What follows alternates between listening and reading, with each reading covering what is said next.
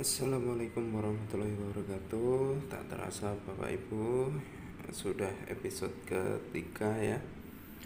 Baik untuk kali ini kita akan Membahas tentang bagaimana cara menulis Soal dengan cepat di LMS Gnomio Oke di sini saya sudah punya soal di Microsoft Word ya. Saya ambil contoh dua soal saja Bapak Ibu Perlu diketahui dalam menulis soal itu e, baris yang pertama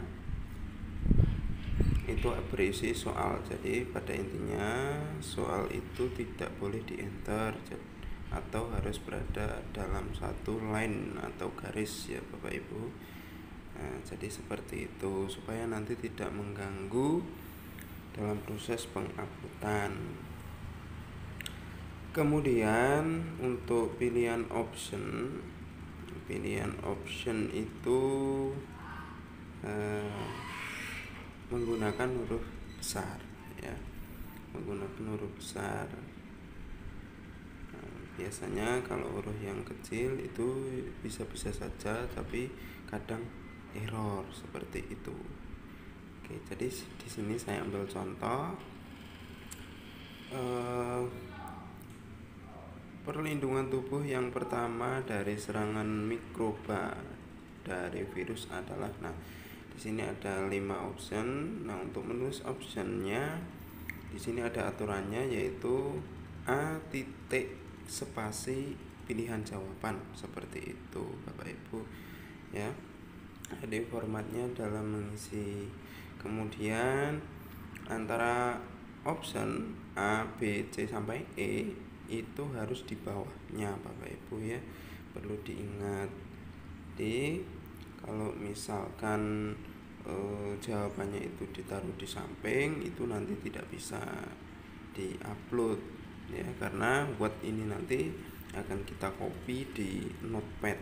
Karena e, yang kita upload nanti adalah file dalam format notepad seperti itu atau txt Kemudian untuk kunci jawaban ditaruh paling bawah.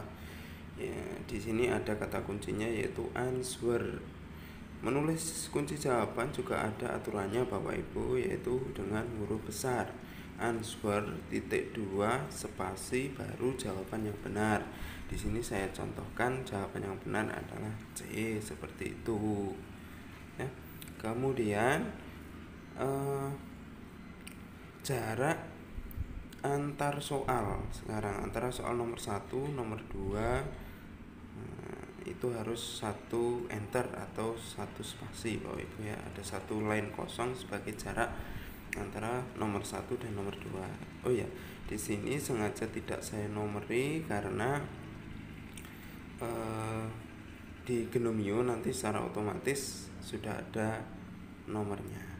Seperti itu. Oke e, kalau editnya sudah selesai di sini akan saya copy Bapak Ibu untuk kita pindahkan ke notepad. Seperti itu. Oke kita copy dulu. Kita cari aplikasi notepad. Biasanya di setiap komputer ada. Tinggal searching aplikasinya. Notepad. Nah ini dia. Nah kita copy di sini. Kita paste di sini nah ini dia bapak ibu. Oke kita besarkan dulu. Nah nah jadi nanti kalau misalkan e, bapak ibu sudah punya banyak banget soal nanti bisa dikasih tanda-tanda untuk soal yang baru masuk supaya mudah untuk mencari. Oke kemudian kita simpan dulu e, filenya bapak ibu ya. E, misalkan saya kasih nama Nah, soal latihan imun. Nah, seperti itu. Imun new. Nah, imun bio 11 itu aja. Ya, cara save-nya klik file nanti ada kata save. Oke, kita tutup dulu. Kita menuju ke aplikasi Genomio-nya. Ya, kita masuk ke Google Chrome. Nah, di sini sudah ada uh, latihan tapi belum ada soalnya sama sekali Bapak Ibu. Coba saya masukkan yaitu dengan cara hmm, klik tanda gear yang ada di samping kanan itu ya. Kemudian pilih impor. Nah, nanti akan muncul eh, menu seperti ini. Format berkas klik icon format karena txt tadi.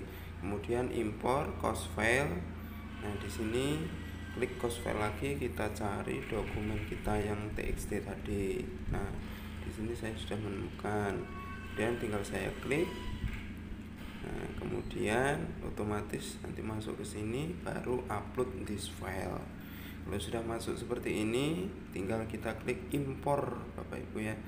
Nah kalau sudah hijau semua tidak ada kata galatnya maka itu sudah berhasil ya hmm, bisa kita lanjutkan. Nah bisa kita lanjut. Nah, untuk memasukkan soal ke bank soal. Ya, kalau sudah diklik lanjut nanti soal yang tadi itu sudah otomatis masuk ke bank soal. Nah ini Bapak Ibu karena saya sudah banyak sekali soal di bank soal saya maka kalau tidak ditandai soalnya misalkan dikasih kode atau apa nanti akan bingung dalam mencarinya. Oke untuk memasukkan kita kembali lagi ke kuis yang kita tadi ya yang kita buat tadi Bapak Ibu. Nah, dengan mengklik general atau langsung ke menu soal latihan yang ada di bawah tulisan biologi itu ya di barisan atas. Kemudian kita klik edit quiz untuk memasukkannya. Karena tidak serta-merta bisa langsung masuk setelah kita impor. Oke kita klik kocok pertanyaan dulu kita klik add. Oke kita tambahkan soal from question bank. Nah kita klik. Nah nanti kita akan terbawa ke bank soalnya Bapak Ibu. Kita cari soal yang kita tadi tentang perlindungan perlindungan. Nah ini dia saya centang dulu. Perlindungan tubuh yang pertama kali.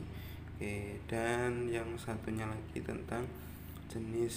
Nah jadi seperti ini Bapak Ibu kalau tidak ada tandanya campur dengan soal lain akan kebingungan. Jadi bisa ditambahkan di depan soal itu tulisan apa gitu misalkan bab berapa atau ya suka Bapak Ibu. Kemudian kalau sudah kita klik add selected question to the quiz yang ada di uh, menu paling bawah ini Bapak Ibu. Nah, kita klik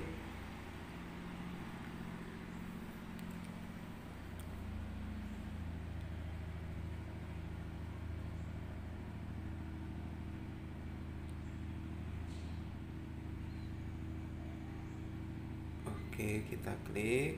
Ini sudah masuk. Kita tunggu koneksinya.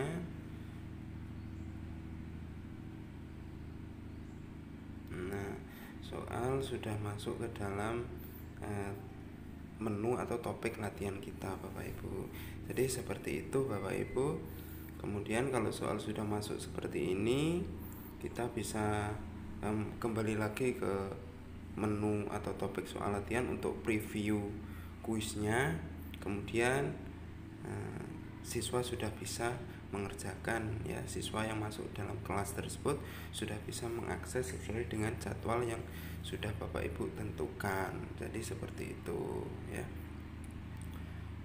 Oke jadi uh, untuk kali ini cukup sekian ya Bapak Ibu. Semoga video ini dapat membantu e, meringankan tugas Bapak Ibu sebagai e, pendidik ya. Oke, selamat mencoba dan tetap semangat berlatih Bapak Ibu. Assalamualaikum warahmatullahi wabarakatuh.